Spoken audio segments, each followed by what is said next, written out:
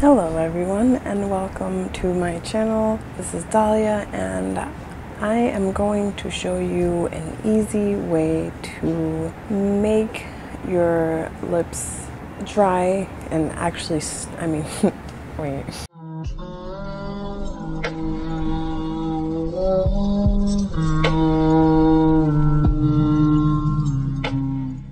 I'm going to show you how to make a natural and easy lip balm that actually works. It's not like Blistex that just keeps coming off. You keep trying to, you keep putting it on and it just, it seems like it's making it drier. So I bought this on Amazon. It is called lanolin.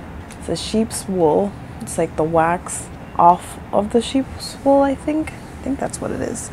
But people usually what they do since lanolin is uh, the main ingredient in like uh, nipple creams like you know for breastfeeding mothers like me they found that you know when they put it on their lips their um, lips are um, pretty moisturized throughout the day and they're actually not drier than when you put stuff on, they're actually a little bit more moisturized. It creates a barrier from the uh, outside world, and it actually does work. I'm, I'm wearing some now, and my lips have gotten better ever since I started using this um, lanolin mixture thing.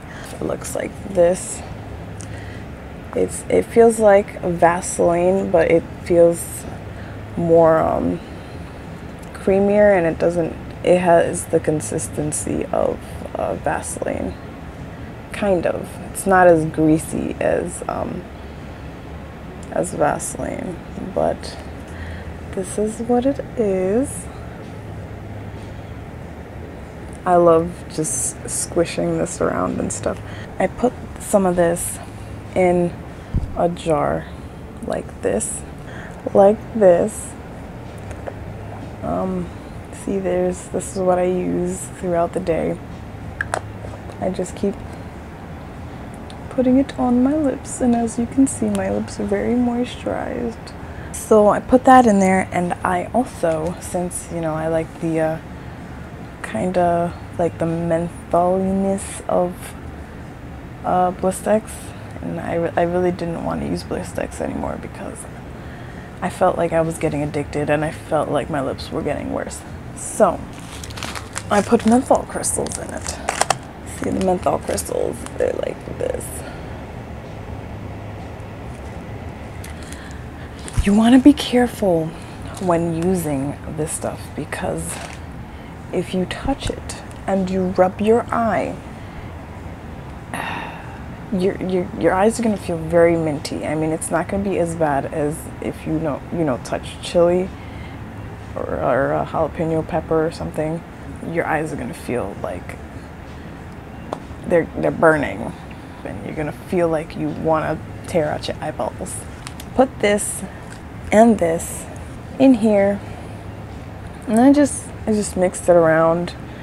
Over time, it will, it will melt together uh, you can put the uh, jar with the menthol crystals and the lanolin, lanolin in uh, a pot of boiling water. So you can just get everything all infused and mixed together and stuff. But I didn't really I wasn't in a rush to have them mixed together. I just wanted to use the lanolin without having to stick my finger into this uh, thing I hope you guys found this uh, tiny tutorial useful and um, I'll see you in my next video.